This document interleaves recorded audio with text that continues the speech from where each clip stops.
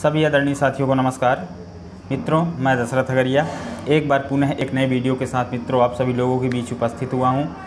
मित्रों, आज का जो वीडियो है, वो हम छत्तीसगढ़ के रायगढ़ जिला से लाए हैं। वहाँ से शिव दत्त अगरिया एवं उनका पूरा परिवार लोहे के साथ आग पर काम करता है लोहे से औज़ार बनाता है और उनका मुख्य व्यवसाय यही लोहे से ही है, जो उन, जो अगरिया आदिवासी की संस्कृति, परंपरा है, उन्होंने उसको अपनाया हुआ है और उसी पर काम करता है। तो ये वीडियो आज हम रायगढ़ से लाए हैं मित्रों। संपूर्ण अगरिया आदिवासी को इसमें हमने कवर किया है।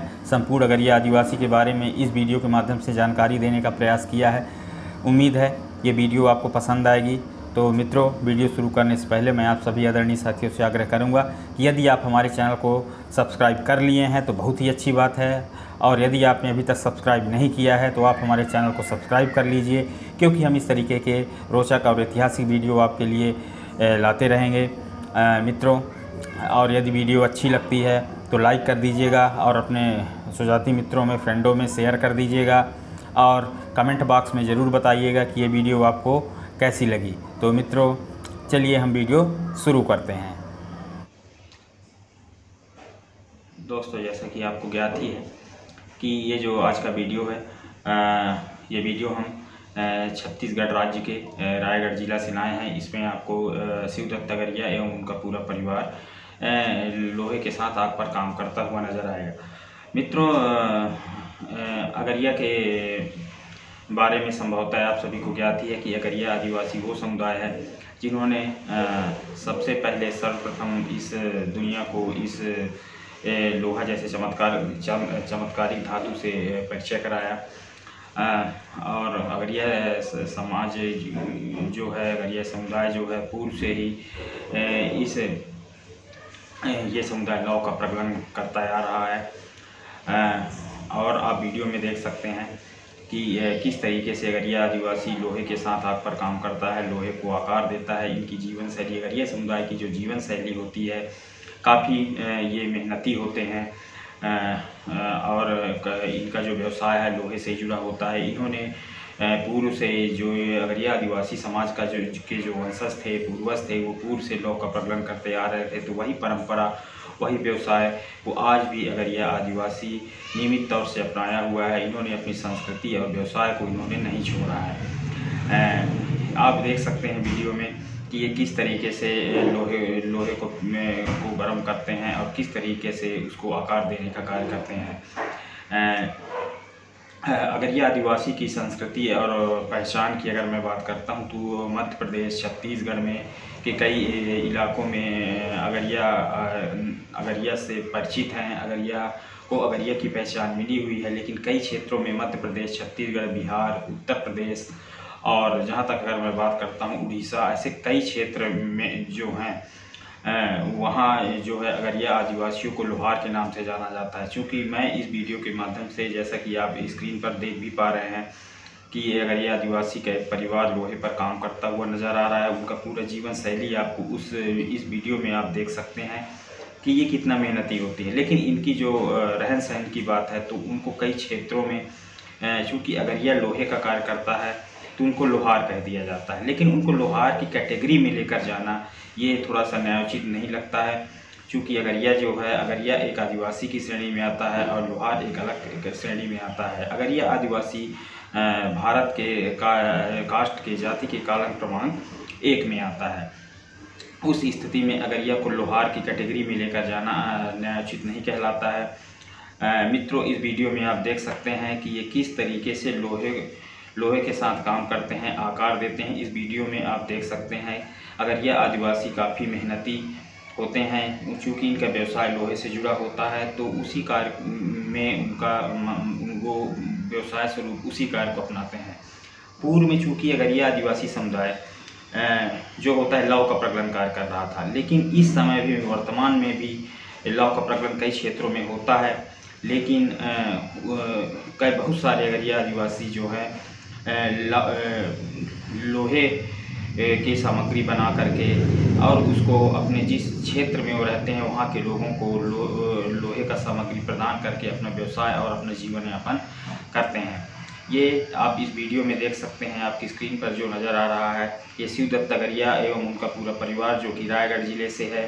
इनका संपूर्ण व्यवसाय लोहे से जुड़ा हुआ है। ये लोहे की सामग्रियों का निर्माण करके और उस क्षेत्र में रहने वाले अन्य समुदाय के लोगों को लोहे की सामग्री प्रदाय करते हैं, जिससे उनका घर और उनका परिवार यथावत तरीके से चल रहा है। अगर यह आदिवासी अगरिया के बारे में अगर मैं बात करता हूँ तो अगरिया संभवतः आग पर काम करने वाले लोगों से अगरिया जो शब्द की उत्पत्ति हुई है वो संभवतः आग पर काम करने वाले से हुई है। ये ये सतत जो है, इनका जो संबंध होता है अगरिया आदिवासी का, वो सतत आग से ही होता है। क्योंकि इनका सुबह से उठना, फिर इसके बाद अपने काम को करना तो ये क्या है, सतत लगातार ये चूँकि आग से जुड़े होते हैं, इसलिए इनको माना जाता है कि अगर ये सा जो है, इन, इनकी उत्पत्ति आग से हुई है। इनके, अगर यह जो समुदाय है, अगर यह समुदाय का जो मुख्य देवता होता है, अज्ञासुर जिसे लोहासुर भी कहा जाता है जिन, जिनको मानते हैं अगर यह आदिवासी समुदाय। अब अगर हम इनके अगरिया समुदाय के क्षेत्र की बात करते हैं तो डिंडौरी जिला, मध्य प्रदेश के डिंडौरी जिला से नेतरहाट तक इनको रेखांकित किया जा सकता है, देखा जा सकता है। और इसके साथ ही छत्तीसगढ़ में छोटा नागपुर का पठार के ऐसे कई क्षेत्रों में आपको अगरिया आदिवासी समुदाय मिल जाते हैं। मित्रों, आप वीडियो में देख सकते हैं कि जो अगरिया आदिवासी समुदाय है, इनकी जीवन शैली काफ़ी अलग ही आपको नज़र आती है। अन्य समुदायों की अपेक्षा एक अलग ही नज़र आती है, चूँकि ये काफ़ी मेहनती होते हैं और ये अपने काम में सतत लगे रहते हैं, खोए रहते हैं, जिससे इनकी जीवन शैली दूसरों से इनको अलग बनाती है। मित्रों, अगर हम, अगर ये क्षेत्र की और बात करते हैं भारत में तो भारत में अगर यह और भी जैसे मध्य प्रदेश में, छत्तीसगढ़ में, झारखंड में, बिहार में उड़ीसा में, उत्तर प्रदेश में, पश्चिम बंगाल में, ऐसे कई क्षेत्रों में आपको गरिया मिलेंगे। अगरिया के साथ साथ मैं बात करना चाहूँगा मित्रों, असुर समुदाय की। असुर समुदाय जो है अगरिया और असुर समुदाय दोनों एक ही वंशज हैं दोनों ही लोहे का कार्य करते हैं, दोनों ही लव प्रगलन का कार्य करते थे, आज भी कई क्षेत्रों में, भारत के कई क्षेत्रों में, मध्य प्रदेश के सीधी जिला में और सूरजपुर जिला, छत्तीसगढ़ राज्य में और ऐसे जसपुर में और आपको बता दें झारखंड में, उत्तर प्रदेश में, बिहार में, पश्चिम बंगाल में, ऐसे आपको अगरिया आदिवासियों, असुरों के बहुत सारी ऐतिहासिक जानकारियाँ मिल जाएँगी। आज भी वहाँ साक्ष्य स्वरूप अगर यह आदिवासियों का जो इतिहास है, जहाँ वो लव प्रकरण का कार्य करते थे, जिस पर हमने पूर्व में भी कई वीडियो बना के हम आप लोगों के सामने रख चुके हैं, उनका इतिहास आज भी मौजूद है। लेकिन सबसे बड़ी दिक्कत की बात यह है कि आज भी अगर यह समुदाय अपने अस्तित्व की पहचान में सतत प्रयास कर रहा है। अस्तित्व के पहचान से मतलब ये है दोस्तों, अस्तित्व की पहचान का अर्थ ये है कि अगर यह चूँकि आदिवासी है और लोहार दूसरे समुदाय में आ जाते हैं, दूसरी श्रेणी में आते हैं। लेकिन कई क्षेत्रों में उनके रहन सहन के आधार पर चूँकि लोहे का कार्य करते हैं तो उनको लोहार भी कहा जाता है और लोहार कहने का उनकी श्रेणी उनको लोहार में रखा गया है। तो ये न्याय उचित नहीं लगता है। आप वीडियो में देख सकता है, देख सकते हैं वीडियो। दिखाने का अर्थ मेरा ये है कि आप देख सकते हैं अगर ये समुदाय का जो औज़ार है, वो किस तरीके का होता है, कितने पाउंड का हो सकता है, आप अंदाज़ा लगा सकते हैं ये किस तरीके से पकड़ते हैं, किस तरीके से घन चलाते हैं और किस तरीके से कोई सामग्री का निर्माण कर रहे हैं। आप स्क्रीन पर देख सकते हैं, ये वीडियो लाने का अर्थ यही है कि आप लोगों को मैं अगर यह आदिवासी के कुछ मतलब चलते फिरते वास्तविक लाइव कार्यों से मैं आपको अवगत करा सकूँ, मैं आपको दिखा सकूँ कि किस तरीके से अगर यह आदिवासी आप पर काम करता है। दोस्तों, जैसा कि आप स्क्रीन पर देख रहे हैं अगर यह आदिवासी का जो घन है वो किस तरीके का होता है, लगभग आप अंदाज़ा लगा सकते हैं कि कितने पाउंड का हो सकता है समथिंग समथिंग कहें अगर तो दस पाउंड का होगा। लेकिन अगर यह जिस तरीके से ये ये इस दस पाउंड के घन को लगातार सतत लगातार एक ही स्थान पर चला रहे हैं आप वीडियो में देख सकते हैं तो वो वो किसी अन्य समुदाय के लिए संभवतः संभव नहीं है। तो चूँकि ये, ये इनकी जो है आदिवासी की ये जो देन है वो प्रकृत प्राकृतिक देन है ये नेचुरल है इनका संस्कृति जो है ये नेचुरल इनके पूर्वजों से इनको मिलती है। मित्रों, ज़्यादा तो अगरिया आदिवासियों के बारे में आप सभी को अवगत ही होगा, बट यही कहूँगा कि अगरिया आदिवासियों की संस्कृति, सभ्यता के बारे में बहुत सारे जो बड़े बड़े वैज्ञानिक्स हैं, बहुत बड़े बड़े डॉक्टर्स हैं साइंटिस्ट हैं, इन्होंने अगरिया आदिवासी के बारे में अपने लेख में, अपने खोज में इन्होंने बहुत सारी बातें लिखी हुई है और जानकारियाँ दी हुई है कि अगरिया आदिवासी, आज ऐतिहासिक युगों से जो कि आदि जाति की प्रजाति है, ऐतिहासिक काल से लौ प्रगलन का कार्य करता आ रहा है, लोहे पर कार्य करना इनका व्यवसाय है, और लोहे से जुड़ा हुआ इनकी पूरी संस्कृति होती है, ये अपने पूरे जीवन काल में में अधिक से अधिक समय अपने व्यवसाय को महत्व देते हैं। तो अगर यह आदिवासी की जीवन शैली बहुत ही सामान्य होती है, जो लगातार सतत रूप से लोहे पर ही निर्भर होती है। तो दोस्तों, वास्तव में अगर यह बहुत मेहनती होते हैं, उनका जीवन संघर्षमय और चुनौतीपूर्ण होता है।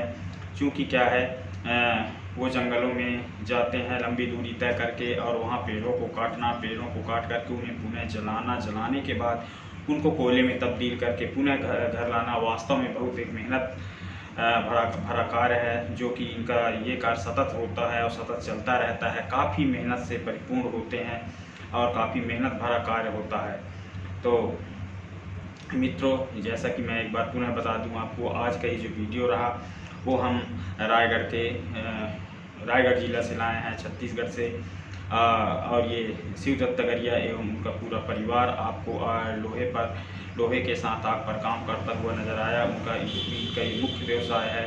अब ये लोहे से औज़ार और सामग्रियों का निर्माण करके अपने आसपास के क्षेत्रों में में अपने, दे करके व्यवसाय स्वरूप व्यवसाय स्वरूप अपना जीवन यापन कर रहे हैं। तो मित्रों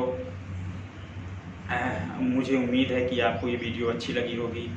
और यदि मित्रों, अगर वीडियो अच्छी लगी होगी तो ये वीडियो को एक लाइक कर दीजिएगा और अपने लोगों में शेयर कर दीजिएगा। और मित्रों, यदि आप हमारे चैनल को पहली बार देख रहे हैं तो चैनल को सब्सक्राइब करना बिल्कुल मत भूलिएगा, क्योंकि हम इस तरीके की जानकारियाँ, ऐतिहासिक जानकारियाँ आप लोगों के बीच में लाते रहेंगे। तो मित्रों, स्वस्थ रहें, सुरक्षित रहें और अपना ख्याल रखें। तो मित्रों, आज के लिए धन्यवाद।